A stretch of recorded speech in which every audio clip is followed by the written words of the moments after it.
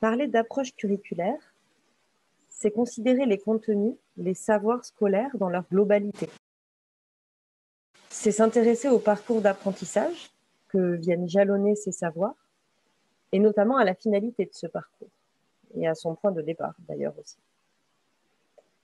Parler d'approche curriculaire, c'est aussi parler de la façon avec laquelle se construisent les parcours d'apprentissage à l'école, la façon avec laquelle ils sont accompagnés dans les établissements scolaires.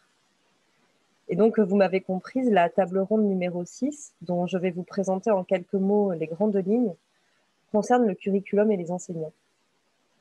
Il s'agit d'ailleurs exclusivement d'enseignantes dans le cas présent, du premier et du second degré, dans l'enseignement général et dans l'enseignement professionnel, au contact de publics hétérogènes et populaires.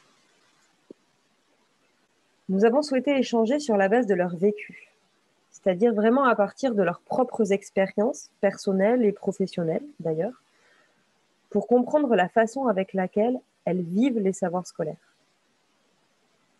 À la fois les savoirs dont elles accompagnent les apprentissages en tant qu'enseignantes, mais également les savoirs qu'elles ont appris elles-mêmes dans leur propre parcours de formation. Quatre thématiques ont ponctué cet entretien.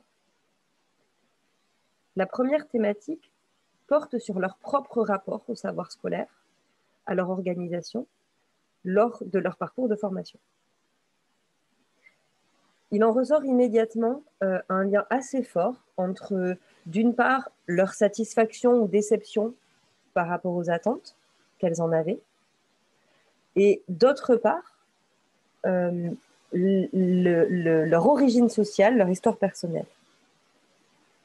Par exemple, euh, l'une d'elles a été heureuse de trouver à l'école les clés de compréhension du monde et de soi-même euh, qu'on ne lui apportait pas ou peu à la maison. Une autre a souffert des rigidités des programmes ou de l'éloignement des savoirs scolaires de la vie et euh, ces expériences ont bien sûr orienté leur projet en tant qu'enseignante. La deuxième thématique interroge leur pratique concernant les savoirs scolaires, leur pratique d'enseignement. Et cet échange montre rapidement qu'elles euh, euh, sont dans une recherche dans leur façon de faire pour donner du sens, pour faire du lien entre les savoirs et la vie des élèves. Mais dans cette recherche, elles se sentent coincées par les programmes et aussi par l'absence d'espace-temps qui permettrait d'abaisser ces cloisons, disciplinaires notamment, en permettant le travail euh, avec les collègues. Nous avons dans un troisième temps abordé, selon elles, le vécu des savoirs scolaires de leurs élèves. Revient alors euh, assez vite la question du sens, euh, des élèves qui ne voient pas l'utilité de ce qu'ils apprennent à l'école, d'ailleurs ni dans leur avenir professionnel, ni dans leur projet de vie, et donc, seul compte la note, en particulier au lycée, qui est le sésame de l'orientation.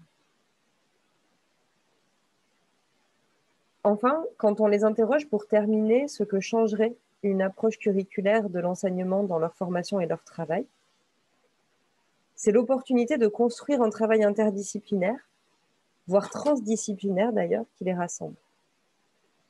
La possibilité de faire tomber ces cloisons, sur la forme, ce que ça implique, c'est que la position de l'enseignant change euh, et également l'organisation temporelle des enseignements qui serait à revoir. Pour l'une d'elles en particulier, il s'agit de, venir remettre l'élève au centre des apprentissages.